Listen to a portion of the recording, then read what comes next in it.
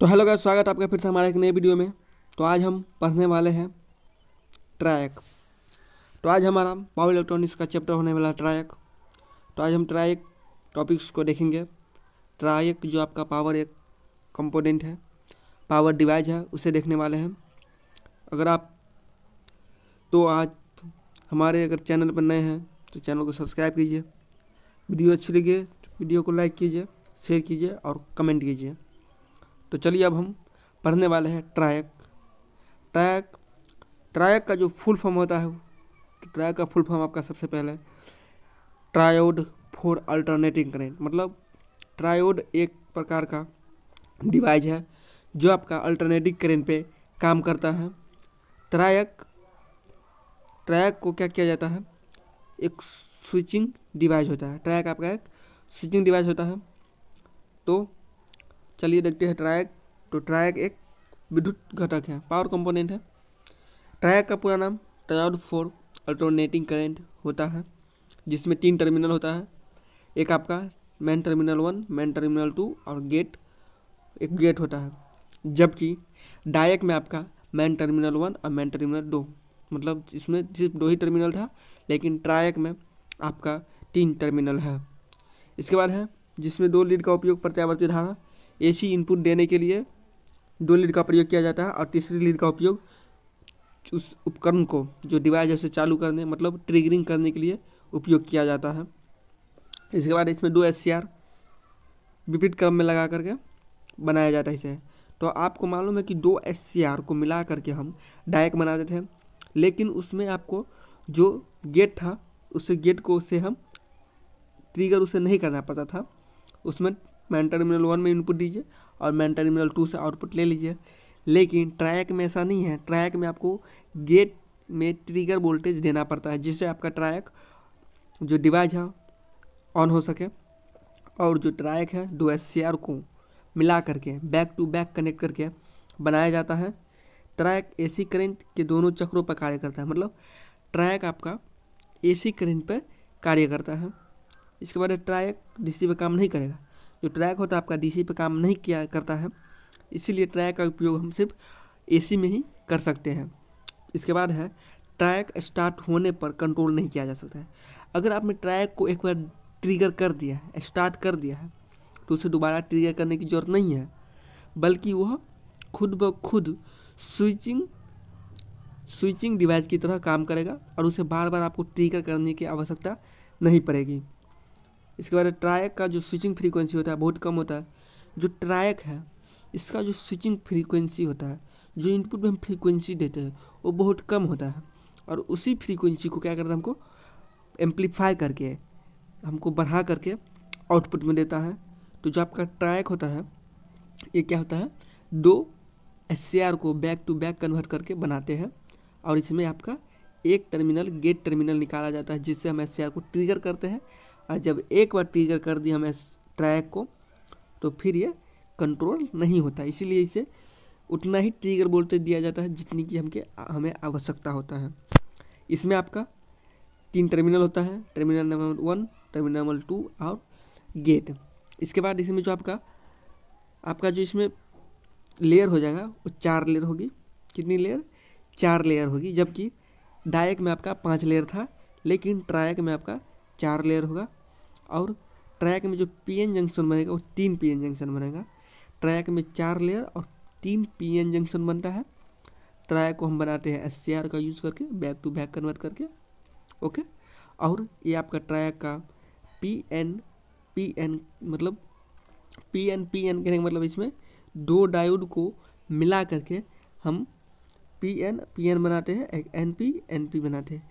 कहने का मतलब है कि एस सी आर दो एससीआर को मिला करके हम ट्रैक बनाते हैं और इसमें आपका एक पीएनपी ट्रांजिस्टर एक एनपीएन ट्रांजिस्टर का यूज़ करके इसे हम एससीआर को हम जैसे बनाते थे, उसी प्रकार से बनाते हैं।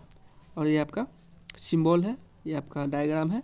ये देख लीजिए आपका ये ब्लॉक डायग्राम है। ओके तो चलिए अब हम डायोड ट्रायक है, जो आपका ट्रायक है ट्रायक क्या किया जाता है, यह दूसरे एस से अलग होता है। जो ट्रायक है, वो दूसरे एस से अलग है, क्योंकि दोनों दिशाओं में चालन कर सकता है। डायक और ट्रायक एस से अलग क्यों है, क्योंकि यह दोनों दिशा में कार्य कर सकता है। जबकि एस आपका सिर्फ़ एक ही डायरेक्शन यानी बाई डायरेक्शनल में काम करता था मतलब यूनि डायरेक्शनल था। ये आपका बाय डायरेक्शनल है, दोनों डायरेक्शन मतलब दोनों दिशा से काम करेगा। टर्मिनल मैन टर्मिनल वन से इनपुट दीजिए टू से आउटपुट लीजिए टू से इनपुट दीजिए वन से आउटपुट लीजिए। लेकिन एससीआर में ऐसा नहीं था। आप किस एनोड पर इनपुट देते थे कैथोड से आउटपुट लेते थे, उसमें सिर्फ़ यूनि जो आपका यूनि डायरेक्शनल ही, जो आपका करेंट है, वो फॉलो होता था, उसे एम्पलीफिकेशन करता था। इसके बाद इसमें चाहे सिग्नल घनात्मक हो या ऋणात्मक आप गेट सिग्नल ऋणात्मक दीजिए या घनात्मक दीजिए, उससे मतलब नहीं है। ये दोनों बाई डायरेक्शनल में काम करता है। इसका उपयोग एसी सिस्टम के लिए स्विच की तरह किया जाता है। जो आपका एसी सिस्टम होता है, उसमें स्विच की तरह ट्रायक का यूज़ किया जाता है। किसकी तरह? स्विच की तरह जो आपका ट्रायक है, यह एक क्या है? एसी सिस्टम की में स्विच की तरह कार्य करता है। जो ट्रायक है, एक स्विच की भांति कार्य करता है। ट्रायक को जब हम एक बार ऑन कर देते हैं ट्रिगर वोल्टेज दे देते हैं, इसके बाद इसे कंट्रोल नहीं कर सकते हैं। क्योंकि एक बार ऑन होने के बाद इसे ऑफ़ करना बहुत ही नामुमकिन होता है। लेकिन फिर भी हम इसे वोल्टेज ट्रिगर वोल्टेज के माध्यम से कंट्रोल कर सकते हैं। इसका उपयोग तो जो आप ट्रायक है, उसका उपयोग देखते हैं। तो ट्रायक का उपयोग एसी पावर कंट्रोलर या हीटर में करते हैं। तो आपको पता है जब कोई भी एसी डिवाइस है कोई भी एसी इक्विपमेंट है ओवर हीट होने लगता है तो उसमें सप्लाई कट जाती है। जैसे आपका प्रेस हो गया हीटर हो गया, जो आपका गीजर हो गया, इस सब में क्या होता है, जब एक्स्ट्रा हीट हो जाता है तो उसमें आपका सप्लाई कट जाता है तो वहाँ एसी पावर कंट्रोलर के रूप में उसे कार्य करता है। इसके बाद एससीआर में ट्रिगरिंग डिवाइस की भांति का उपयोग किया जाता है। जो आपका ये जो है ना ट्रायक एससीआर आपका डीसी पे काम करता है, लेकिन ट्रायक इस पे काम करता है? एसी पे काम करता है। तो ट्रायक एसी पे काम करता है। तो ट्रायक का उपयोग हम क्या करते हैं? एससीआर को ट्रिगर करने के लिए हम उपयोग करते हैं। ट्रिगर वोल्टेज देने के लिए हम किसका उपयोग करते हैं आपको? ट्रायक का। किसमें देंगे ट्रिगर वोल्टेज एससीआर में देंगे और डायक में देंगे। एससीआर डायक एफ़ इन सबको ट्रिगर करने के लिए हम ट्रायक का उपयोग करते हैं। इसके बाद इसका ज़्यादातर प्रयोग एसी स्विचिंग में। एसी स्विचिंग में इसका ज़्यादातर उपयोग किया जाता है। लाइटिंग कंट्रोल में इसे यूज़ किया जाता है। आपका लाइटिंग कंट्रोल में इसे यूज़ किया जाता है। पंखों और छोटी मोटरों को नियंत्रण में कर, इसका उपयोग किया जाता है। जब का फ़ैन होता है, छोटी मोटर होता है, उस समय इसका यूज़ किया जाता है आपका। इसके बाद इलेक्ट्रॉनिक स्विचर्स में जितने भी इलेक्ट्रॉनिक स्विच है, उसमें ट्रायक का उपयोग किया जाता है। वोल्टेज को ट्रिगर करने के लिए ट्रायक का उपयोग किया जाता है। वोल्टेज को कंट्रोल करने के लिए, एसी पावर को कंट्रोल करने के लिए ट्रायक का उपयोग किया जाता है। क्योंकि ट्रायक बाई डायरेक्शनल डिवाइस है, यह दोनों दिशा में काम करता है। ओके? तो ये रहा आपका ट्रायक का यूज़। ठीक है? तो नेक्स्ट आपका जो पावर कंपोनेंट है, वो है आपका आईजीबीटी जो आईजीबीटी होता है, इंसुलेटेड गेट बाइपोलर ट्रांजिस्टर, यह आपका एक मॉसफेट मॉसफेट में ही जब हम मॉसफेट के एक भाग में जो आपका एक बॉडी अटैच कर देते हैं तो उसे ही हम इंसुलेटेड गेट बाइपोलर ट्रांजिस्टर यानी आईजीबीटी कहते हैं। और जो मॉसफेट होता है metal oxide semiconductor field effect transistor उसी में एक बॉडी को अटैच किया जाता है।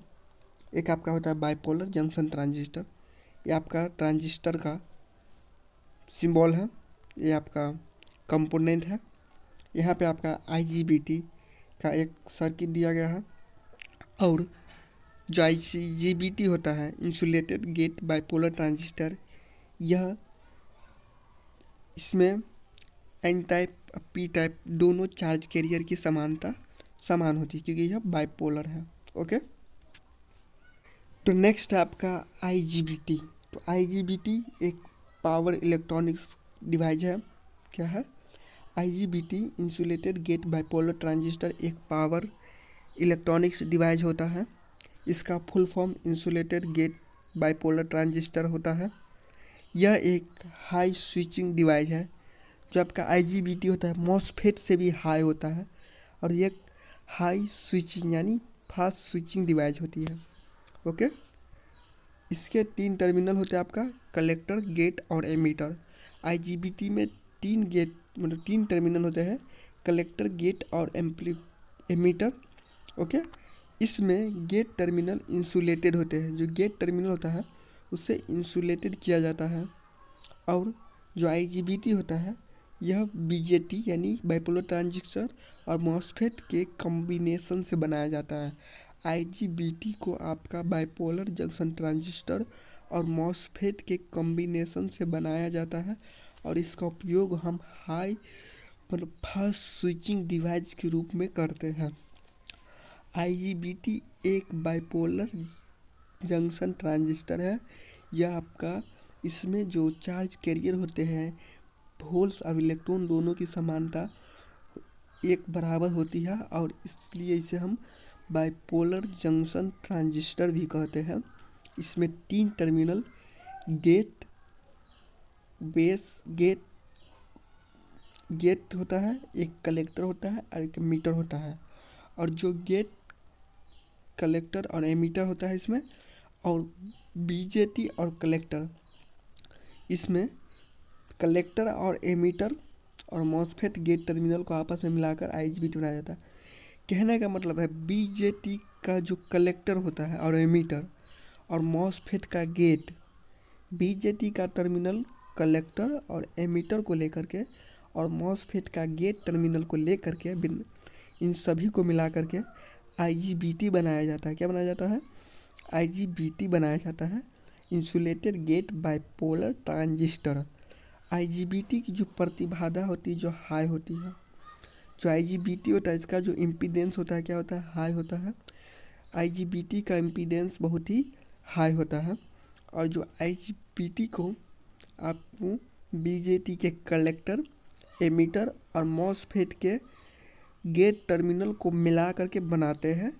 किस आईजीबीटी आईजीबीटी आपका एक फास्ट स्विचिंग डिवाइस है।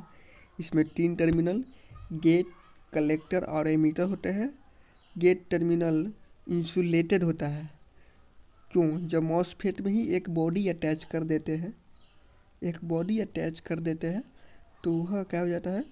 इंसुलेटेड की तरह काम करने लगता है। इसीलिए आईजीबीटी का भी full form insulated gate insulated gate bipolar transistor होता है। ओके यहाँ पर आपको आईजीबीटी का सिंबल दिया गया है। इसमें तीन टर्मिनल गेट कलेक्टर और एमीटर होता है। गेट से हम इसे ट्रिगर करते हैं। एमीटर से इनपुट देते हैं और कलेक्टर से आउटपुट लेते हैं। आउटपुट टर्मिनल हो गया। इनपुट टर्मिनल हो गया, गेट से आप इसे ट्रिगर करेंगे मतलब आईजीबीटी को ऑन करेंगे ओके और जो मॉसफेट होता है, इसका आपका गेट टर्मिनल लेके और बीजेटी का कलेक्टर और एमीटर लेकर के कलेक्टर और एमीटर लेके हम आईजीबीटी का निर्माण करते हैं। तो आई होप आपको यहाँ का समझ आ गया। तो चलिए नेक्स्ट देखते हैं। उससे पहले यहाँ पर आपको एक जो कंस्ट्रक्शन डायग्राम है आईजीबीटी का, वो भी दिया गया है। तो यहाँ देख सकते हैं आप, एक मेटल यानी मेटल का बॉडी सिलिकॉन ऑक्साइड का भी यहाँ पे जो पतली चादर होती है, उसे लगाया गया है। और इसमें आपका N P N N P N मतलब एन पी एन प्रकार के एन पी एन टाइप के सेमीकंडक्टर का यूज़ किया गया है। और इसमें गेट वोल्टेज देगा एमीटर से इनपुट देगा और कलेक्टर से आउटपुट ले लेगा ओके ये मेटल बॉडी है, एक इंजेक्शन लेयर होता है। आईजीबीटी में लेयर तो बनेगा ना? इसमें आपका लेयर बनता है ओके इसके बाद है आपका application of insulated gate bipolar transistor IGBT के अनुप्रयोग। तो आईजीबीटी का जो यूज़ है, कहाँ कहाँ होता है? तो आईजीबीटी का व्यापक रूप से मध्य शक्ति अनुप्रयोग मीडियम पावर वाले जहाँ पे मीडियम पावर यानी शक्ति का उपयोग होता है, वहाँ किया जाता है। जैसे एसी और डीसी मोटर को चलाने के लिए एसी और डीसी मोटर को ड्राइव करने के लिए। यूपीएस सिस्टम बिजली की आपूर्ति रिले इस समय आपका, इन सबको ट्रिगर करने के लिए आईजीबीटी का उपयोग किया जाता है। आईजीबीटी बीजेटी कन्वर्टर की तुलना में छोटे और सस्ते होते हैं। जो आईजीबीटी होता है वो बीजेटी कन्वर्टर यानी बीजेटी कंपोनेंट की तुलना में छोटे और सस्ते होते हैं। कौन? आईजीबीटी सस्ते होते किससे? बीजेटी से सस्ते होते हैं आईजीबीटी और छोटे भी होते हैं। इसका उपयोग आपका यूपीएस सिस्टम पावर सप्लाई में एसी और डीसी मोटर में, इसको ड्राइव यानी उसे स्टार्ट करने के लिए आईजीबीटी का यूज़ किया जाता है। जो कहने का मतलब है गेट टर्न ऑफ़ थायरिस्टर क्या? Gate turn off thyristor gate को टर्न रखेगा टर्न ऑफ़ मतलब गेट को बंद रखेगा। जीटीओ में क्या होता है? गेट टर्मिनल हमेशा ऑफ़ रहता है। यह पावर इलेक्ट्रॉनिक्स में थायरिस्टर को आइडियल स्विच का प्रयोग किया जाता है। थायरिस्टर को एक आइडियल स्विच की तरह प्रयोग किया जाता है, लेकिन इसे ऑन करने के बाद ऑफ़ करने के लिए कम्यूटेटर की आवश्यकता होती है, जो जीटीओ होता है, इसे हम एक आइडियल स्विच की तरह उपयोग करते हैं, लेकिन ऑन करने के बाद ऑफ़ करने के लिए कम्यूटेटर की आवश्यकता होती है। किसकी? कम्यूटेटर की आवश्यकता होती है आईजीबीटी को ऑफ़ करने के लिए। जब एक बार यह ऑन हो जाएगा तो इसे ऑफ़ करने के लिए कम्यूटेटर की आवश्यकता होती है। इसके बाद है, जो कॉस्टली और डिफेक्टिव होता है इसीलिए जो GTO होता है कॉस्टली और इफ़ेक्टिव हो जाता है और इस थायरिस्टर के स्थान पर जीटीओ का उपयोग किया जाता है, जो आपका थायरिस्टर होता है एक आइडियल स्विच होता है, लेकिन जो थायरिस्टर होता है, उसे ऑन करने के बाद ऑफ़ करने के लिए कम्यूटेटर की आवश्यकता होती है, जो कि कॉस्टली और डिफेक्टिव हो जाता है, इसलिए थायरिस्टर के स्थान पर। थायरिस्टर के स्थान पर हम जीटीओ का उपयोग करते हैं। जी का यूज़ किया जाता है, उपयोग किया जाता है, क्योंकि थायरिस्टर बहुत ही महँगी और डिफेक्टिव, कहने का मतलब है बहुत ही कंजम्पशन करता है, पावर कंजम्पशन थायरिस्टर इसीलिए वहाँ पे हम G T gate turn off thyristor का उपयोग करते हैं। आज के लिए इतना ही, क्योंकि आज हमारा पावर इलेक्ट्रॉनिक्स जो आपका चैप्टर है, वो ख़त्म हो चुका है। तो अब हम मिलते हैं किसी नेक्स्ट वीडियो में। और जो पावर इलेक्ट्रॉनिक्स है, जो पावर इलेक्ट्रॉनिक्स में जितने भी डिवाइजेज पर है, वो सभी इम्पोर्टेंट है एग्ज़ाम की व्यू से। और जितने भी है इसमें वन लाइनर क्वेश्चन बनता है, सभी आपको पीस एस यू में जितने भी D R D O BARC ISRO इस समय पूछा जाता है। ए एल पी टेक्नीशियन इस समय भी आपका क्वेश्चन आता है पावर इलेक्ट्रॉनिक्स से। वन लाइनर क्वेश्चन आता है जो कि बहुत ही इम्पोर्टेंट है तो ये आपका पावर इलेक्ट्रॉनिक्स आज ख़त्म हुआ। तो मिलते हैं फिर कभी नेक्स्ट वीडियो में। उससे पहले अगर आपको वीडियो अच्छी लगी है कमेंट कीजिए। वीडियो को लाइक कीजिए, दोस्तों को साथ शेयर कीजिए, ताकि उन्हें भी अधिक से अधिक मदद मिल सके इस वीडियो के माध्यम से। और मिलते हम किसी नेक्स्ट वीडियो में फिर से। जब तक के लिए आप सभी को जय हिंद।